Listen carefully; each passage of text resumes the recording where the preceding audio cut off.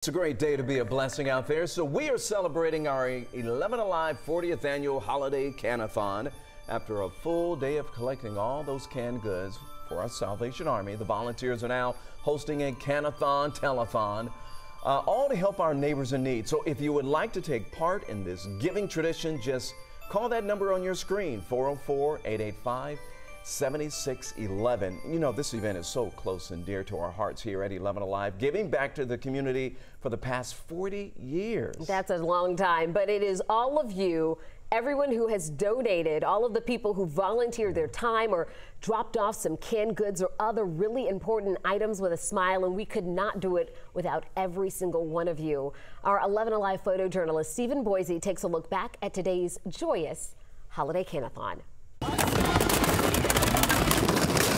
We are here in Lawrenceville, just off Sugarloaf Parkway, where the action is in full steam. I'm right in the middle of it. We brought out 2,000 cans.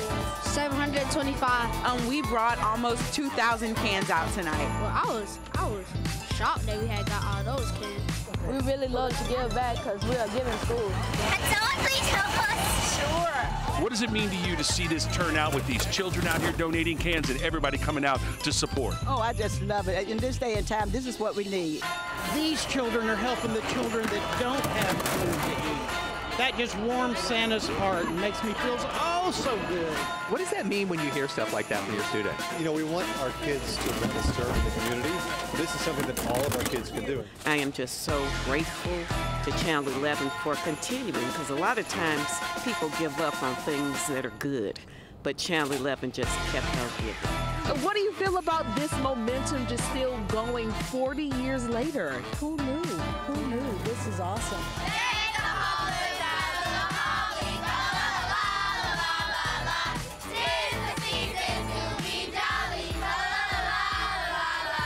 It has been awesome, and I am so humbled to be a part of it.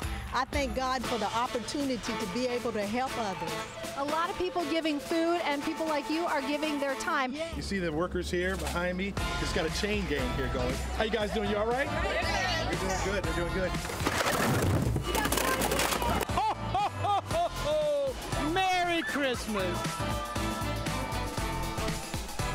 Looks like a lot of fun. Chris, you're out there enjoying it as well. It, it's always so fun every year. And it really, you know, we were joking around on air earlier. It was, you know, kind of chilly outside, yeah. but it really does warm your heart to give and then to see the people coming to give too. You know, we spend a lot of time talking about the big groups, the schools, yeah. the businesses that come to help out. But it was so refreshing to see just people coming in their cars and they saw our coverage on TV and wanted to stop by and just to give what they could and every little bit helps. So and we are really so nice. grateful. We have talked mm -hmm. so much all year long about how so many more people are in need of this help and so it really does go a long way. And we know that this help is staying in our Metro Atlanta community, which is really important. We're helping our neighbors. And yeah. we'll always need need to give. Yes. Need to Absolutely. Help. So